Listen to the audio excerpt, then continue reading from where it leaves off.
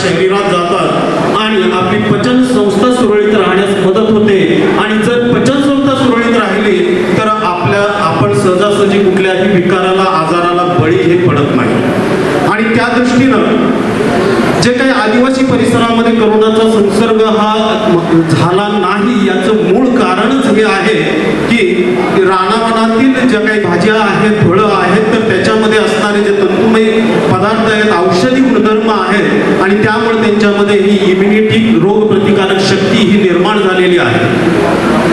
तर या रानभाज्यांमध्ये आपण महत्त्वाच्या ज्या काही भाज्या आहेत तर त्याच्याविषयी थोडक्यात माहिती घेणार आहोत. त्याच्यामध्ये सर्वात पहिली भाजी आहे ती करटोली. तर आज करटोली मला काही या ठिकाणी दिसली नाही परंतु अ, नाही तिथं ते वेगळं आहे अ, नागफणी असं ते फळ आहे. कर्टोली नाही येते. तर कर्टोलीचा हा वेल असतो त्याचे कंद हे जमिनीत सुप्तावस्थेत वर्ष राहतात पाऊस पडल्यानंतर याचा वेल फुटून येतो आणि या करटोलीला कारल्यासारखी छोट्या आकाराची फळं लागतात आणि ह्या फळांची जर आपण भाजी केली तर मधुमेहासाठी अत्यंत गुणकारी असं आहे त्यानंतर सातत्यानं ज्याला डोकेदुखी असते त्यांनी या भाजीचा समावेश आपल्या आहारामध्ये करणं गरजेचं आहे जो जास्त काळ टिकणारा ताप आहे ज्वर आहे तर त्याच्यावर ह्या करटोलीचा चांगला उपयोग आहे जी बद्धकोष्ठता आपण म्हणतो कॉन्स्टिट्युशन म्हणतो तर त्याच्यावर याचा उपयोग आहे डोळ्यांचे जे विकार आहेत त्याचबरोबर अ, त्रास असेल मूत्रस्रावाचा त्रास असेल तर ह्या करटोलीचं सेवन जर आपण केलं तर हे व्याधी आपल्या दूर व्हायला मदत होऊ शकते. त्याच्यानंतर दुसऱ्या नंबरची भाजी आहे ती दिंडा. तर दिंड्याचे जे कोवळे कोंब असतात तर याची भाजी केली जाते आणि कर्करोगाच्या उपचारामध्ये नियमनासाठी ग्रामीण भागामध्ये या दिंड्याच्या पानांचा उपयोग केला जातो. याचबरोबरीनं पुढची तिसरी भाजी आहे मेथीप्रमाणे दिसणारी आहे ती टाकळा टाकळ्याला ऑगस्ट ते डिसेंबर महिन्यात पिवळ्या रंगाची फुलं येतात वीस ते पंचवीस सेंटीमीटर त्याची उंची असते आणि त्याच्या पानांची ही भाजी केली जाते तर ही आहे त्वचा रोगावर अतिशय उपयुक्त अशी ही भाजी आहे त्याचबरोबर याच्या बियांचा जर आपण लेप त्वचेवर दिला तर त्वचा विकार हे बरे होऊ शकतात वात दोष कफ दोष कमी करण्याचं काम ही टाकळ्याची भाजी ही करत असते. त्याच्यानंतर पुढची भाजी आहे ती कुडा. तर पांढरा कुडा पलीकडच्या बाजूला एक नंबरला होता. शेंगा त्यांनी ठेवलेल्या आहेत परंतु त्याच्या पानांची सुद्धा भाजी केली जाते. याला इंद्रजव असंही म्हटलं जातं. इंद्रजव अगदी औषधाच्या दुकानामध्ये त्याच्या बिया सुद्धा मिळतात. तर अ, जे युरिन स्टोन किंवा मूतखड्याचे विकार आहेत त्याच्यावर इंद्रजव किंवा हा कुडा अत्यंत उपयोगी आहे याचबरोबरीनं महिलांमध्ये गर्भाशयाचे विकार असतील किंवा कुष्ठरोग असेल तर या पुढ्याचा चांगला उपयोग हा होऊ शकतो. त्याच्यानंतर पुढची भाजी आहे लहानपणी बऱ्याच लोकांनी ही खाल्ली असेल. अतिशय लहान लहान पानं असतात याला. आंबुशी असं म्हटलं जातं. पिवळ्या रंगाची याला फुलं येतात. अगदी त्याची उंची जमिनीपासून पाच दहा सेंटीमीटर पर्यंतच उंची असते आणि थोडीशी चवीला आंबट असते परंतु ही भूकवर्धक आहे त्यानंतर स्कर्वी म्हणजे त्वचा रोगावर उपयोगी आहे कफ आणि वात विकारावर उपयोगी आहे मूळ व्याधावर उपयोगी आहे याचबरोबर त्वचेचा दाग होत असेल कडक उन्हाळ्यामध्ये तर याच्या पानांचा लेप जर आपण त्वचेवर लावला तर अतिशय चांगल्या प्रकारे त्याचं निवारण हे होऊ शकतं. त्याच्यानंतर पुढची भाजी आहे ती पाथरी. पाथरीची पानं एका स्टॉलवर आपल्या त्या ठिकाणी आहेत. तर महिलांमध्ये बाळंतीन बाईला दूध वाढण्यासाठी जनावरांमध्ये सुद्धा दूध वाढीसाठी या पाथरीच्या पानांचा चांगला उपयोग होतो. जर अपचन झालेला असेल कावीळ असेल किंवा यकृताचे विकार असतील तर यकृताच्या विकारामध्ये सुद्धा या पाथरीच्या पानांच्या भाजीचा चांगला उपयोग हा होऊ शकतो. त्याच्यानंतर पुढची आहे ती शेवगा. तर शेवगा अलीकडं मोठ्या प्रमाणावर एकर दोन एकर क्षेत्रावर सुद्धा मोठी लागवड चालू झालेली आहे. तर शेवग्याच्या पानांची भाजी आणि शेंगांची भाजी मोठ्या प्रमाणावर केली जाते. तर या शेवग्यामध्ये अजीवनसत्व त्याचबरोबर कॅल्शियम आणि पोटॅशियम हे मोठ्या प्रमाणात मिळत असतं. तर शेवग्याच्या पानांचा किंवा शेवग्याच्या शेंगांच्या भाजीचा उपयोग किमान आठवड्यातून दोन वेळा तरी आपल्या आहारामध्ये असणं आवश्यक आहे. त्याच्यानंतर पुढची जी भाजी आहे जुन्नर तालुक्याचं ते भूषण म्हणावं लागेल अगदी जी आयसाठी सुद्धा प्रयत्न करायला पाहिजे की जुन्नरची आळूची वडी. तर जी आळूची पानं आहेत तरी त्या आळूच्या पानामध्ये व्हिटॅमिन अ व्हिटॅमिन ब आणि व्हिटॅमिन क मोठ्या प्रमाणावर आहे कॅल्शियम मोठ्या प्रमाणात आहे पोटॅशियम मोठ्या प्रमाणात आहे. आणि त्यामुळं एक अँटीऑक्सिडंट किंवा ब्लड प्रेशर कमी करण्याचं काम ही आळूची वडी चांगल्या प्रकारे करू शकते. त्याच्यानंतर पुढची एक भाजी आहे कॅना. कॅनाला कर्दळीसारखी छोटी पानं असतात आणि त्याला जी फुलं येतात ती निळसर जांभळट रंगाची असतात. तर याच्या पानांची भाजी केल्या जातात. भाजी केली जाते आणि शक्तिवर्धक म्हणून या कॅनाला ओळखलं जातं. तर जखमा बऱ्या करण्यासाठी जर भाजून जखम झालेली असेल तर याच्या पानांचा लेप आपण त्याच्यावर लावू शकतो.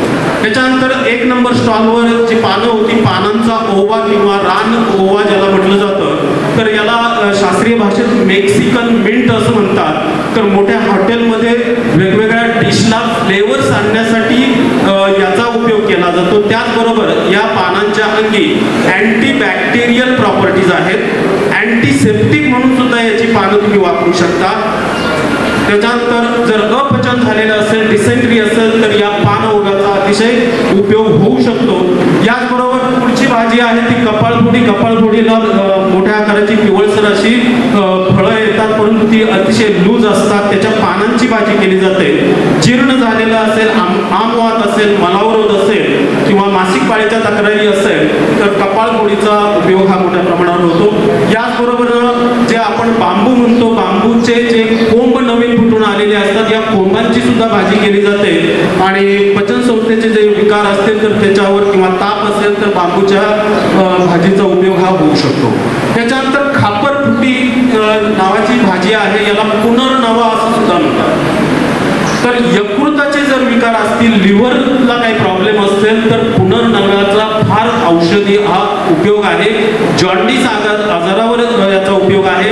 याचबरोबर पाईल्सचा त्रास असेल तरी हा पुनर्नव्याची जी पानं आहेत म्हणजे जो रान ओवाट ठेवलेला आहे तशाच प्रकारची या पुनर्नव्याची सुद्धा पानं असतात किंवा याला खापर खापरफुटी किंवा खापरफुटी असं सुद्धा म्हटलं जातं. त्याच्यानंतर महत्वाची जी पुढची भाजी आहे ती कुरडू. कुरडूची भाजी दोन अडीच फुटापर्यंत वाढते त्याला पांढरट गुलाबी रंगाचा असा तुरा सुद्धा येतो. तर या तुऱ्याच्या भा- तुऱ्याचा उपयोग फुलाचा उपयोग सुद्धा होतो आणि पानांचा उपयोग सुद्धा भाजी करण्यासाठी होतो. डोळ्याचे जर काही विकार असतील दृष्टी कमी झालेली असेल तर या कुरडूच्या भाजीचा समावेश आपण आहारात ठेवला तर चांगला उपयोग होऊ शकतो. सर्पदंश जर असेल तर सर्पदंशावर या कोरडू फुलांचा उपयोग हा केला जातो. याचबरोबर दम दमा असेल जुनाट खोकला असेल लघवी साफ होत नसेल तर या कोरडूच्या पानांचा उपयोग केला जातो. मूतखड्याचा त्रास असेल कोरडूच्या बियांचा उपयोग केला जातो. याचबरोबर पुढची भाजी आहे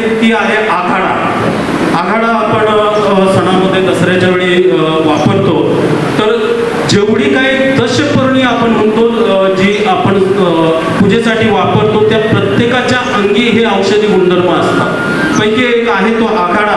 तर खोकल्यासाठी मलेरिया किंवा डिसेंट्री असेल किंवा अस्थमा असेल याच्यासाठी या आघाड्याचा उपयोग होतो. याचबरोबर डायबेटीस शुगर कमी करण्यासाठी सुद्धा आघाडा उपयोगी आहे. त्याच्यानंतर काटेमाठ अ, तर पलीकडून दोन नंबरच्या स्टॉलवर तिथं काठेमाठाचं सॅम्पल हे ठेवलेलं आहे तर अ, याच्यामध्ये सुद्धा कोलेस्टेरॉल कमी करण्याची प्रॉपर्टी आहे हे अँटीबायोटिक म्हणून सुद्धा वापरलं जातं त्वचेचा दाह होत असेल भाजलेला असेल तर काटेमाठाचा चांगला उपयोग हा होऊ शकतो रक्त शुद्धीकरणाचे काम ते काटेमाठ चांगल्या प्रकारे करतात त्याच्यानंतर पुढचं आहे ते चिवळ तर घोळूची जी भाजी आपण म्हणतो किंवा घोळूचं तण आपण पिकामध्ये जे आलेलं असतं तर त्याच्याच गटामध्ये हे चिवळ मोडतं याला ॲक्च्युली पोर्च्युलाका असं म्हणतात तर अ, याला कार्डिओ टॉनिक असं म्हटलं जातं हृदयासाठी हे टॉनिक म्हणून वापरलं जातं अ, याच्यात मूत्राशयाच्या विकारावर उपयोग होतो डिसेंट्री किंवा अल्सरवर सुद्धा उपयोग याचा होतो आणि याच्यानंतर पुढचं आहे ती घोळूची भाजी तर घोळू हे तण जरी असलं तरी त्याची भाजी जर केली तर ते अँटीसेप्टिक म्हणून काम करतं अँटीबॅक्टेरियल प्रॉपर्टी त्याच्यामध्ये आहेत अँटीऑक्सिडंट म्हणून काम करतं याचबरोबरीनं सर्वात पॉप्युलर जी आहे ती आंबाडीची भाजी तर आंबाडीच्या पानांचा अ, पानांची आपण भाजी करू शकतो उच्च जर असेल तर या आंबाडीच्या पानांचा हा त्याच्यावर चांगला उपयोग आपल्याला होऊ शकतो. जर यकृताचे काही विचार विकार आपल्याला असतील तर ह्या आंबाडीच्या पानांचा उपयोग हा केला जातो. त्याच्यानंतर पुढची जी भाजी आहे ती आहे ॲक्च्युली याला भाजी म्हणायचं का? हे आहे पिंपळाचं पान.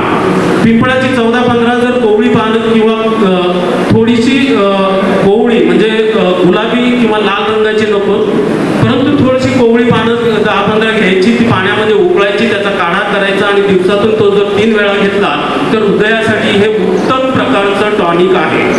याचबरोबर जर पोटामध्ये आल्सर असतील तर या पिंपळाच्या पानांचा उपयोग हा चांगल्या प्रकारे होतो. त्वचा विकारावर हे पिंपळाच्या पानांचा काढा हा चांगला उपयोगी होतो. याचबरोबरीनं पुढचं पीक जे आहे ते भुई आवळी तर अ, पावसाळ्यामध्ये तुम्हाला ह्या भू आवळीचं रोप हे उगून आलेलं असेल.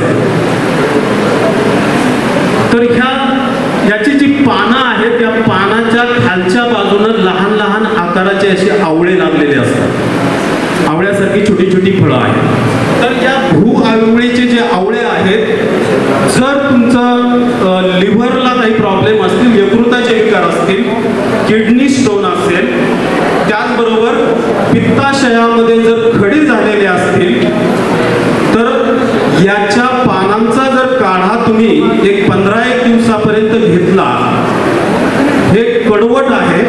काढा अतिशय कडवट होतो थोडे मध टाकून तो तुम्ही घेऊ शकता. तर ऑपरेशन करायची गरज भासत नाही एवढं हे गुणकारी अशी ही वनस्पती आहे.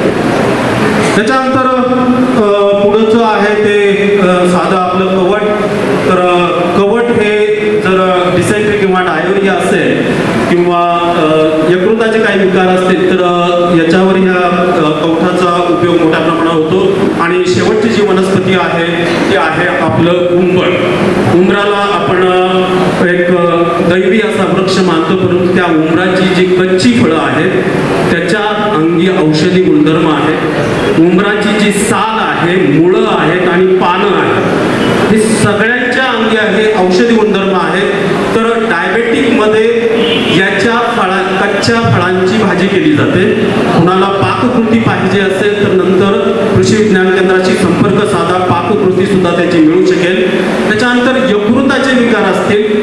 त्याचबरोबर जर मूत्र संस्थेचे काही विकार असतील तर याचा उपयोग होतो. त्याचबरोबर श्वसन संस्थेचे काही विकार असतील.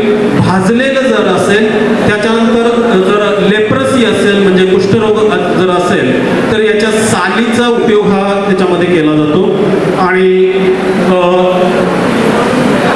अ, काही एक दोन ज्या भाज्या आहेत त्याच्यामध्ये भारंग किंवा याला भारंगी असं म्हणतात. म्हणजे आपली जी करडईची भाजी आहे तशासारखी याची पानं असतात आणि याच्या कोवळ्या पानांची भाजी केली जाते.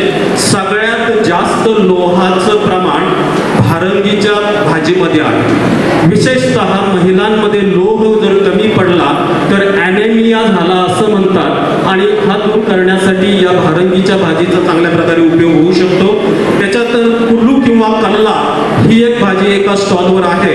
तर अगदी गवतासारखं ते दिसतं परंतु त्याच्यात सुद्धा औषधी गुणधर्म आहेत. आणि शेवटी नवीन काही एक दोन प्रकार मला जे आढळले याच्यामध्ये चित्रूक हे एक आहे.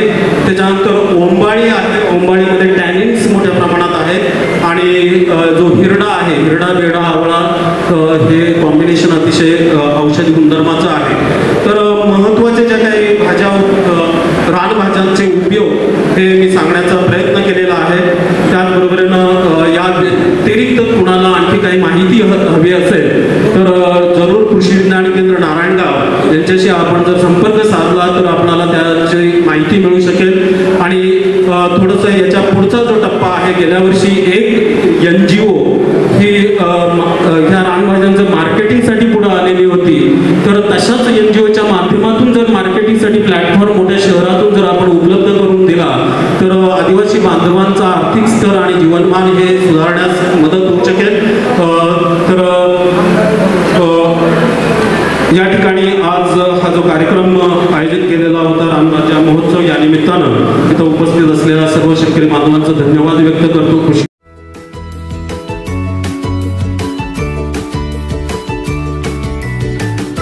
बातम्या शेतीच्या. बातम्या मातीच्या. बातम्या अन्यायाच्या. गुन्हेगारीच्या.